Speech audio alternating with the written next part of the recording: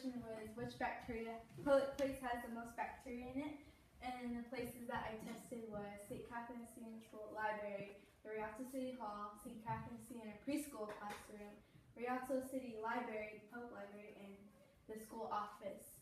And so I used um, pe- petri dishes and used cotton swabs, and I would um, swipe the cotton swabs on there and just take all the bacteria on it, and I would wait for the results.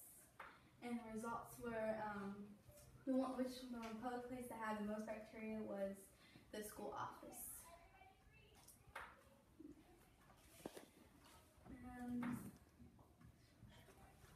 okay, and the school office had the most bacteria, and the second one was Rialto Public Library, the bookshelves, and and the second one was um, first one was the school office.